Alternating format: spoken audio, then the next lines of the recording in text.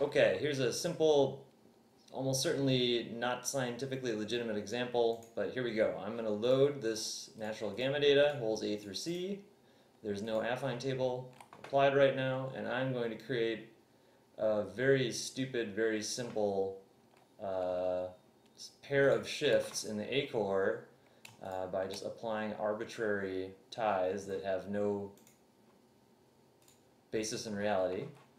Um, the same with A2. So arbitrarily adjust it down. So we'll just adjust this one. Okay, so now we have two cores, or two cores within A that have been composited.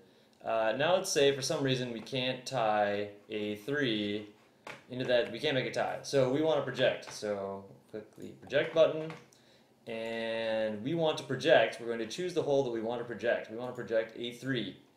Uh, so now it tells us that the current uh, meters below sea floor is 13.1 meters.